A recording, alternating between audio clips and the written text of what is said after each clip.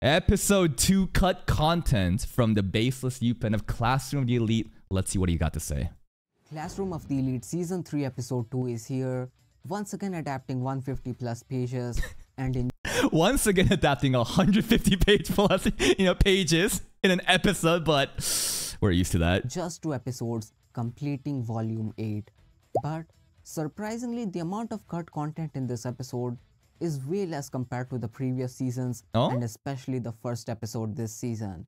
Still, That's the T-Rex scene that everyone keeps talking about, right? Whenever they were in the bath changing scene, people are like, "Oh, dick measuring context, T-Rex scene," but that never happened. So does that mean it's just completely cut because T-Rex is specific to this arc? So it's kind of like over. There's no hope of getting it reordered in the future episodes. episode this season.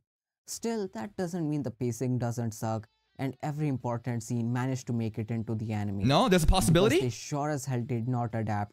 How did Koenji manage to figure out Ayano Koji's true abilities?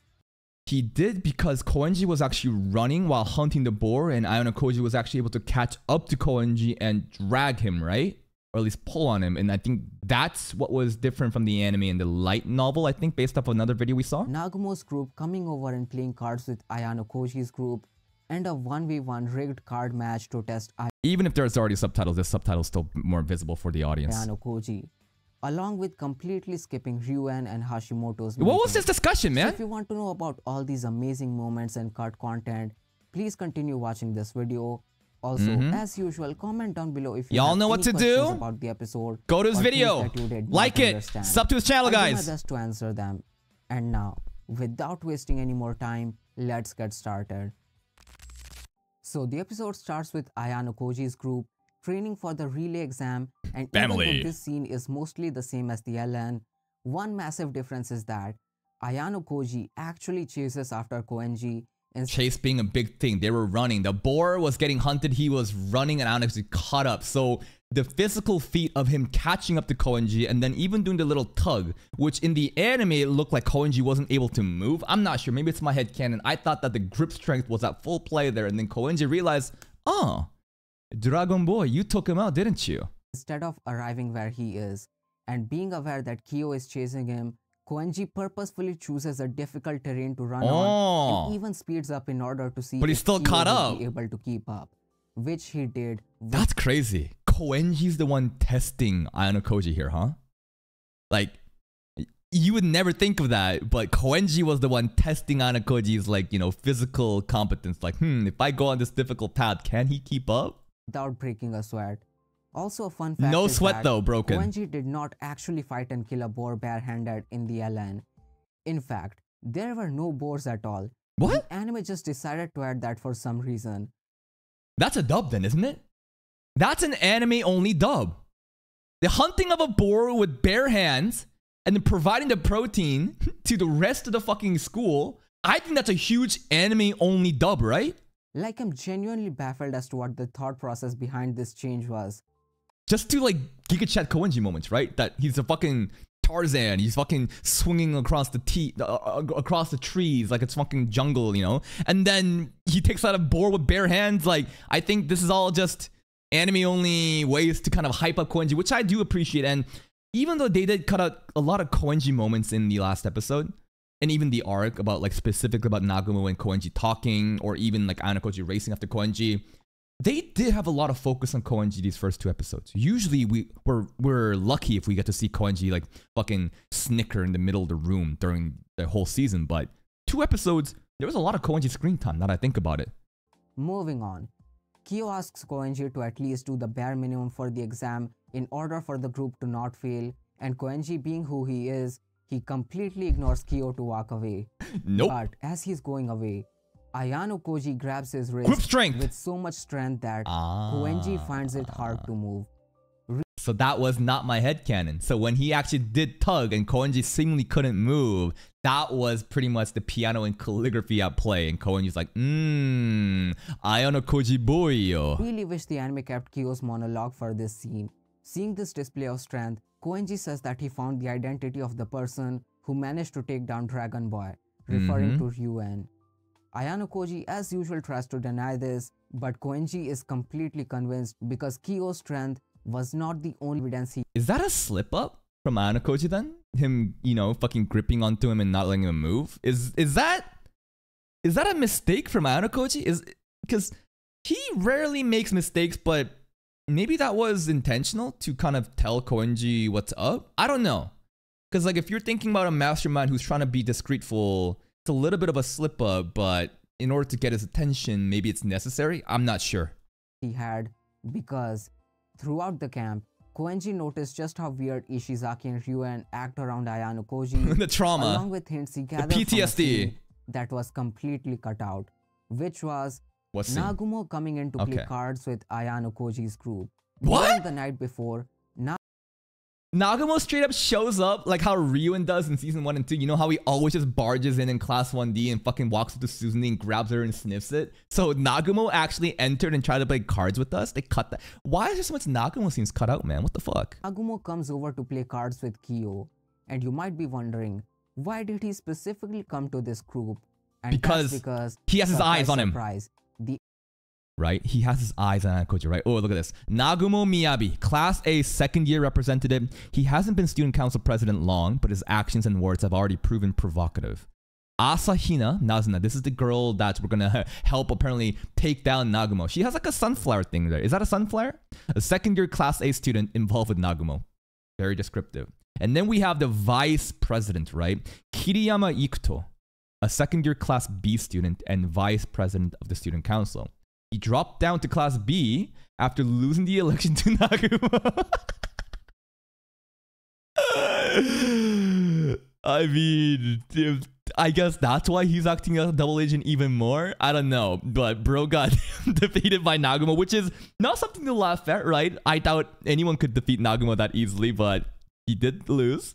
And now he dropped down to Class B, and now he's fucking acting as double agent. But okay, let Baseless Upen cook. He was something important here. did he specifically come to this group? And that's because, surprise, surprise, the anime cut out Nagumo and Ayano Koji's first ever meeting, Oh, which happened in volume 7.5. what the fuck? In volume 7.5, Nagumo actually goes into This is volume 7.5 is still since it's snowing. This is the episode that we gave Kay the cough medicine. So we actually talked to Nagumo and Arisu in that episode. personally meet with Ayano Koji What? because he uh, I mean, focusing on Sakai Sakayanagi like that in the episode, I guess makes more thematic sense because like, and Manamu was there too. Fuck me, dude. Fuck me.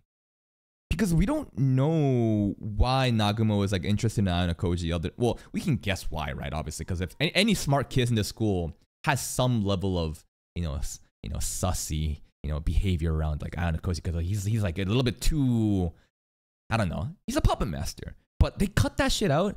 But Nagumo wasn't really portrayed as a centerpiece like a villain in season two, right? He briefly got shown at the you know the new uh, student council president speech.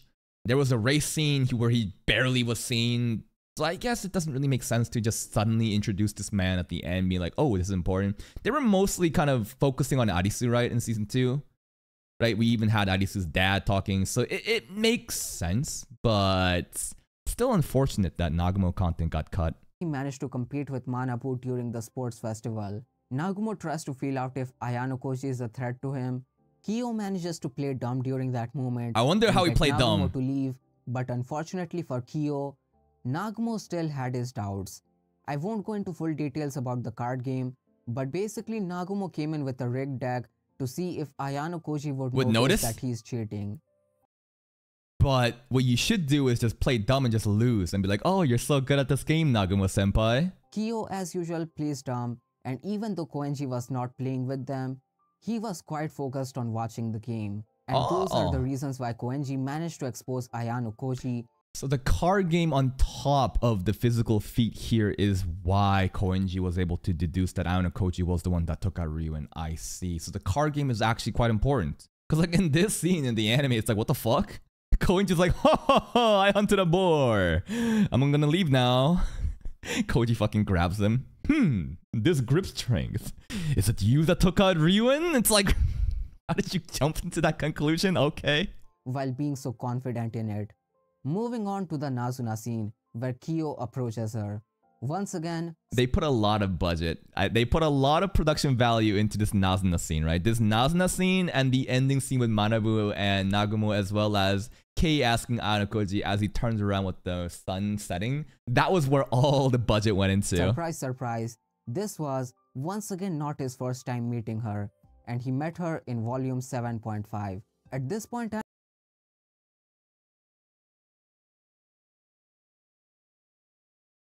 I guess this isn't that big of an offense, like cutting Nagumo content, but still, so much shit that was covered that should have been in season two that builds up to season three is completely skipped, which kind of makes us feel like where the fuck are all these characters coming from? How did they already know these things, right? I'm like genuinely convinced I'm gonna have to mention details from it every single episode this season. Cause I know for a fact that I'm definitely gonna have to mention it once again Tachibana! for episode 3. But yeah, Nazuna actually met Ayano Koji when Nagumo first went to see him, and interestingly enough, Kiyo actually had an interaction with Oh. Nazuna even before Yo, yo, light novel Nazuna even got the fucking zipper all the way down here. Yo, she's a little deadly. God damn. I, I, I do like her design a lot. For that moment, and that was in volume 7, where he found Nazuna's dropped keychain, though he did not actually go to meet her at the time and dropped off the keychain at the lost items section. Right, because in the anime, it's like, oopsie, I dropped it. Oh, you found it. Let's have a 1v1 talk. No, there was like a bit more scheming involved as to how they were talking that they cut out. The anime obviously had to change all of that. One interesting fact is that Ayano Koji intentionally acts like a cocky first year who's Oh? confident he can take down Nagumo to make Nazuna think that he isn't a threat, so she does He acted cocky to make her think that he isn't a threat. Now that I think about it, that scene, Anakoji was very, like, head on. He's like, yeah, I'm gonna take Nagumo. You wanna take him out too? Okay. Huh. He's right. Damn. Moments like this, he throws me off, like the running scene, like versus Manabu in season two. It's like, why did Anakoji run fast to stand out? To throw Ryuen off. So sometimes we intentionally do these things to kind of stand out, which actually still helps us in the overall goal of being discreet. So right now, it's to make Nazuna think that we're not a threat by acting cocky. Okay. doesn't report him to Nagumo. The late night talk from the boys was pretty much the same aside from being more detailed Family. and having Ayano Koji's inner thoughts, which is the case with almost every single moment in this anime. Someone mentioned a very good thing here. In my comment section, someone mentioned, and sometimes I completely forget about the perspective of Ayano Koji when everyone's talking here, or just different scenes. But you know how they're all talking about their childhood dreams, all their different memories, their hardships, their success, their failures. Ayano Koji doesn't have any of that. So when everybody here was talking and being sentimental about their past, what was Koji thinking? Was he thinking, damn, this is how like normal kids grew up. I don't have any of that. What does he think? I wonder, huh? Is he sad that he missed out on that? Does he think that they're interesting creatures that they had such emotions? Does he even want those things? I'm not really sure. single moment in this anime. And now moving on to the final major scene which got skipped, which was Hashimoto's meeting with Ryuen. Mm.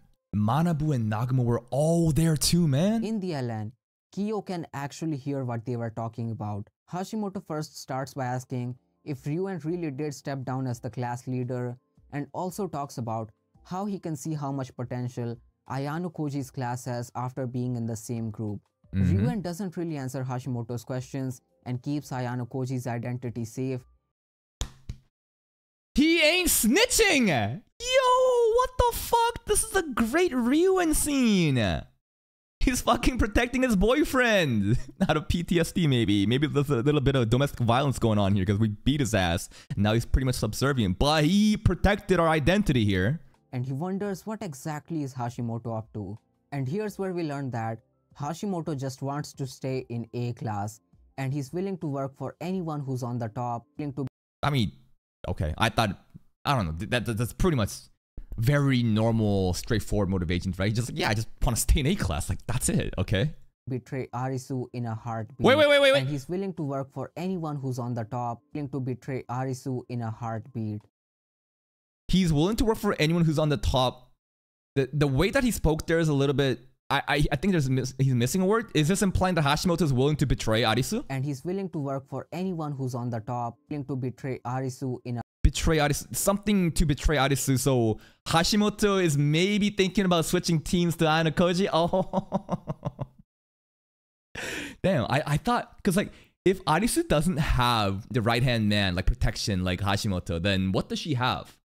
Because it's again this show it's mental capacity is not enough to win. You need violence. And she doesn't have violence if she doesn't have bodyguards, right? She has Yamaka. no. I think she might fucking expel Yamagod, dude. If she actually took that serious and kind of like had a grudge, I'm scared for Yamagod, but damn, Hashimoto's willing to jump ship. Join Anakoji's team, bro. Let's fucking go. In a heartbeat. Ryuen wonders just how long can Hashimoto play on all sides and Hashimoto says that it's his specialty and also says that playing on both sides is a specialty. Now, I think playing on all sides can be good, but it's deadly because you think that the benefit of playing both sides is that both sides, you kind of have your hands dipped in both sides, right? So you have the favors from both sides. But if either side figures this out, instead of both sides liking you, both sides will hate you. That is the worst case scenario of this kind of strategy. Now, Hashimoto is a very smooth talker, right? You've seen his riz. He's got that charisma. He's got that leadership. I wonder how much he can be a snake like this for. We'll see. We'll see. He can still see fire in Ryuen's eyes. Then we get the arrival of Nagumo and Manabu. And Nagumo here straight up tells Manabu to forfeit the match or he'll end up regretting it tomorrow. What? He also tells Manabu that he's aware of him. Wait, wait, wait. If we forfeit the match, then would the outcome would have been less? Because at the end, you know, we both lost points. Obviously, class two lost less because, you know, Nagumo's points are year the entire year while Manabu's is only class. But if Manabu actually quit, would the outcome been better for Manabu at the end? Would it? It was just a simple duel, right? What was on the line? He would have lost the cluster. So even though objectively we wouldn't have lost the points, maybe he would have lost something more valuable. Okay. Okay. Him cooperating with the first year student and he also knows that it's Ayano Koji. Hearing What? With the first year Wait, wait, wait, wait, wait, wait. He also tells Manabu that he's aware of him cooperating with the first year student and he also knows that it's Ayano Koji. Nagumo is aware that we're ploying to take him. I thought this is our secret. I, I, I thought this is our little secret that Nagumo didn't know because in the anime he hasn't said anything about it, but he obviously has his eyes on Ayano Koji. But hold up. So he is aware that there's a bounty on his head. Oh, okay? Hearing this. How? How? Who leaked it? Who was there? Only Kiriyama? Who fucking leaked it? Kiriyama leaked it? That's the only other person in that room, unless there's some fucking, you know, unless they do a retcon to this flashback scene for the Nissan booty call in episode one, or in the future, it's like in the shadows there was actually another person listening that wasn't shown in episode one. Like they could do some bullshit like that, but it was only Kiriyama there, right? Hashimoto is literally unable to process what the hell they're talking about, and he's genuinely shocked because he's always thought of Ayano Koji as a background character. So Hashimoto listens to that and realizes the greatness of Ayano Koji there. Okay, okay.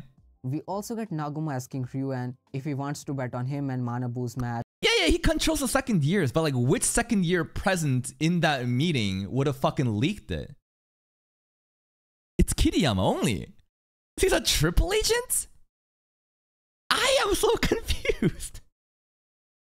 Because like if it's really a second year person, like oh, we only saw Kiriyama there, right?